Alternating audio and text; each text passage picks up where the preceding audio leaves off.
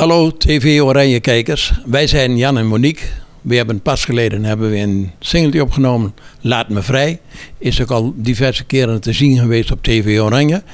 En we zijn net weer een nieuwe single hebben we opgenomen.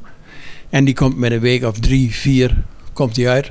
Wat de titel is, zeggen we nog niet. Dat is een verrassing. Wilt u meer over ons weten, kunt u op onze Facebookpagina kijken, Jan en Monique. En ook op onze website www.janenmonique.nl